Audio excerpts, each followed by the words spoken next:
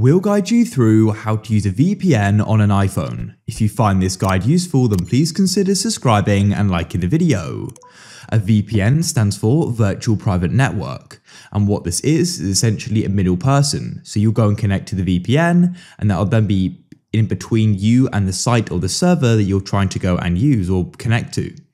So what you need to do is first of all get a VPN if you don't already. We can open up the App Store.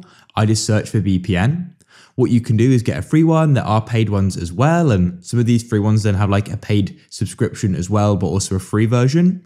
I'll go and get this one here, for example. What we can then do is go and open it up like this. As you can see, that is a premium version, which I could get, but for now, I'll proceed with ads. Then what we can do is go and connect by clicking on that turn on button. You'll go and get this pop-up about adding VPN configurations. Go and click allow like so, and you need to go and enter in your iPhone passcode to go and allow it. And we've now added it, and as you can see, we're connected. You know you are, as it will go and say VPN in the top right, and when you drag down to open up your control center, it will go and say VPN over to the left as well.